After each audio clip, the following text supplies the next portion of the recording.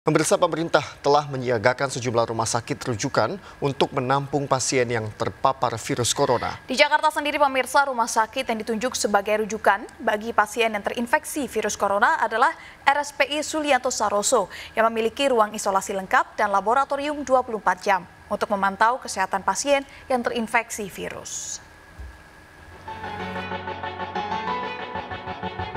Rumah Sakit Penyakit Infeksi Sulianti Saroso di Jakarta Utara kini disiagakan sebagai salah satu rumah sakit rujukan untuk merawat pasien dengan gejala terpapar virus corona. Sejumlah anggota Komisi 9 DPR mengunjungi rumah sakit itu untuk melihat kesiapannya menampung pasien yang terpapar virus corona. Di rumah sakit ini terdapat 11 ruang isolasi khusus untuk perawatan pasien yang terpapar virus agar tidak menulari pasien lainnya. Saat ini dua pasien yang sebelumnya diduga terinfeksi virus corona, namun seorang di antaranya telah diperbolehkan pulang. Keduanya hanya mengalami gejala tetapi belum menjadi suspek kasus virus corona. RSPI Sulianti Saroso telah berpengalaman dalam menangani penyakit terkait infeksi virus. Kasus yang positif eh, yang ada di Indonesia dan Kementerian Kesehatan sudah menyiapkan eh, 100 rumah sakit eh, rujukan dengan uh, fasilitas yang siap memberikan pelayanan.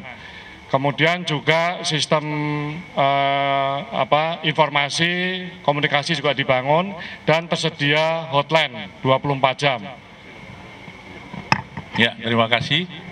Uh, Rumah Sakit Penyakit Infeksi Sulianti Soroso mempunyai 11 ruang isolasi ketat khusus untuk kasus uh, corona virus ini dan kita sudah mengawasi dua pasien, bukan suspek ya, tapi mengawasi dua pasien dan alhamdulillah satu pasien sudah pulang dan dinyatakan negatif.